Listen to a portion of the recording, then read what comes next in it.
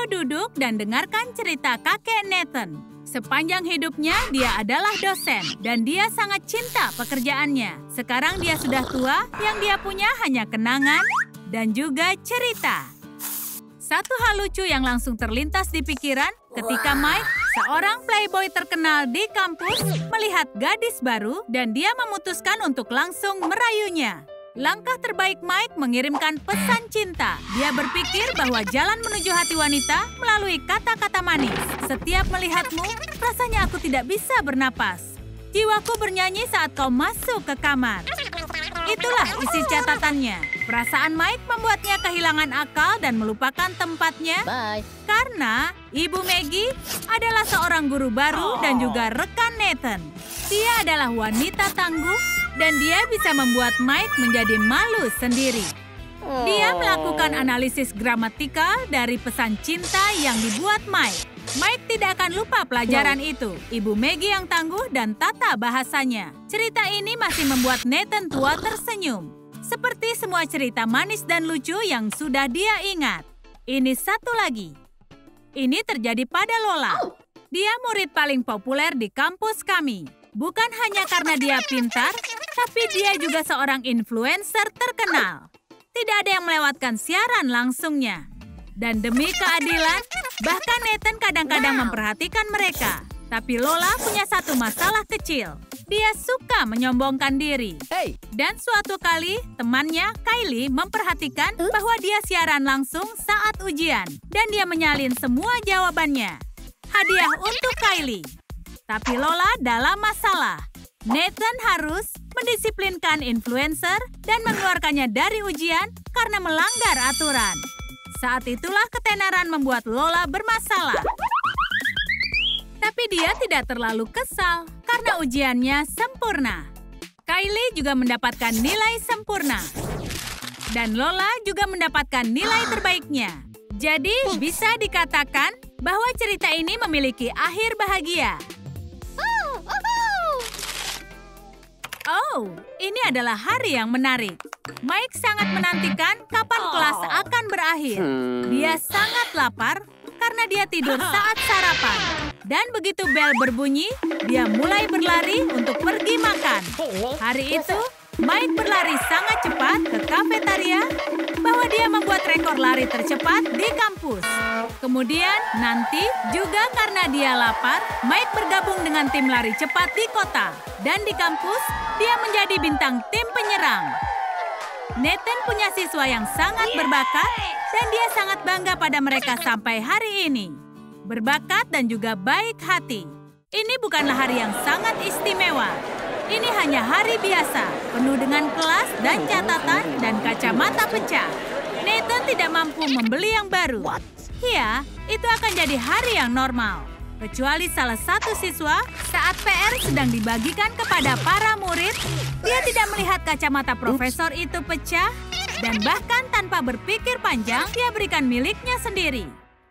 Sepertinya Nathan tidak menyadarinya pada saat itu. Tapi percayalah, dia tidak akan pernah melupakan kebaikannya.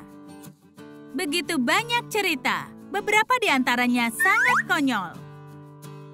Para siswa adalah milik Nathan yang paling berharga. Suatu kali, selama ujian, Nick, si putra dekan kampus, tidak berminat mengerjakannya. Dia punya jawaban yang gitu kalau dia tidak mau mengikuti ujian. Dia baru menuliskan bahwa dia putra dekan kampus. Tapi hari itu, sesuatu yang menarik terjadi. Kylie, murid Wow. paling pintar yang pernah dimiliki oleh Nathan, saat itu dia menyalin jawaban dari lembaran ujian nih. Kau tidak akan percaya, itu yang dia tulis, bahwa dia putra dekan kampus. Jadi dia terkejut saat Nick mendapat nilai A secara tidak sengaja dan Kylie mendapat F. Nathan memberinya kesempatan untuk bicara. Sebagai permulaan, dekan kampus hanya punya satu anak. Kedua, dia tidak bisa menjadi putranya karena dia seorang gadis. Itu sangat konyol. Sepertinya Nathan tidak akan pernah kehabisan cerita. Ini belum bosan, iya kan? Ini satu lagi. Suatu kali selama kuliah, pulpen Nick kehabisan tinta. Dan ingat, Nick adalah putra dekan kampus. Itu situasi yang normal, ya kan? Dia ingin pergi ke lokernya untuk ambil pulpen. Kau tidak percaya betapa berbedanya loker itu.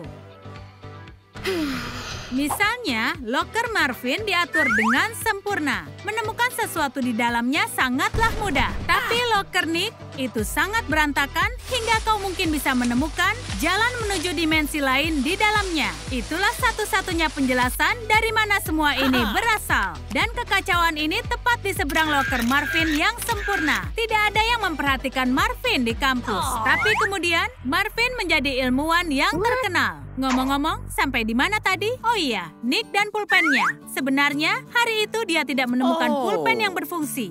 Oh, jangan mengira kalau Nathan orang yang membosankan. Ketika masih muda, dia tahu cara berpesta. Karena dulu, dia berada di grup yang sangat populer di kota, Drum and Bones. Marvin yang malang melihatnya dalam mimpinya.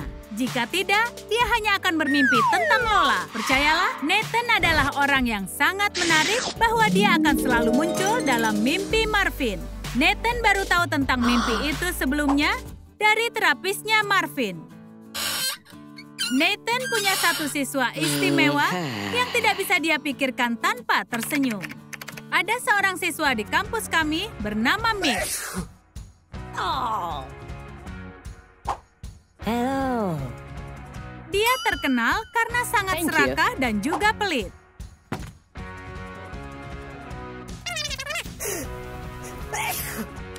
Mitch tidak pernah membawa apa pun.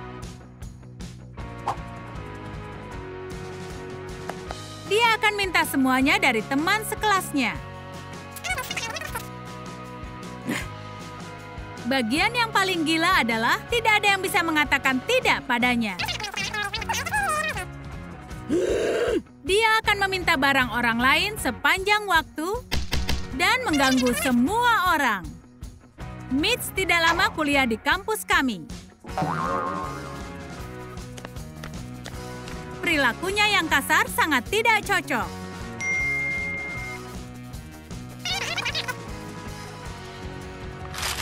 Dan itu benar-benar membuat marah semua orang.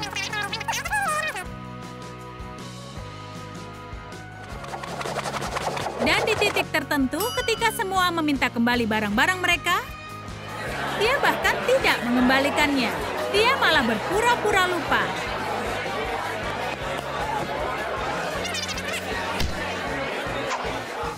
Jadi dia dikeluarkan.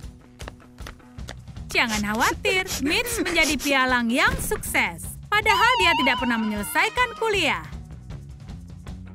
Tapi ada orang lain yang bahkan lebih kasar dari Mitch. Ada pria yang suka menipu orang lain.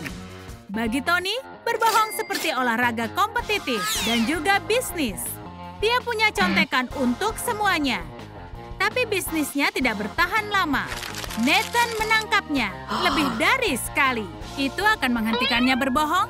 Tidak, jaringan kriminalnya terus saja berkembang. Ada satu saat yang sangat menarik.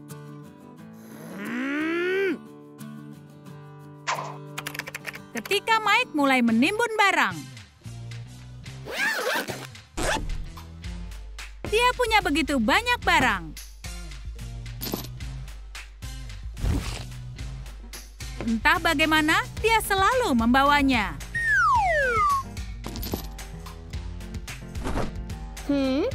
Suatu kali, Lola bercanda menanyakan apakah dia punya topeng kuda. What? Dan kau tidak akan percaya, tapi dia punya barang itu. Wow. Itu menakutkan, tapi sekaligus lucu. Untungnya, periode dalam hidup Mike tidak berlangsung lama. Nathan tua telah ada sudah sejak lama, dan dia punya kehidupan yang sangat menarik. Begitu dia pensiun, dia memulai hidup baru. Nathan kembali ke akar musiknya. Dan kau harus pergi ke konsernya. Bagaimana tentang cerita lama Nathan? Siswa mana yang paling kalian suka? Tulis di kolom komentar. Jangan lupa untuk sukai dan berlangganan agar tak ketinggalan video baru dari Trum Trum Trick.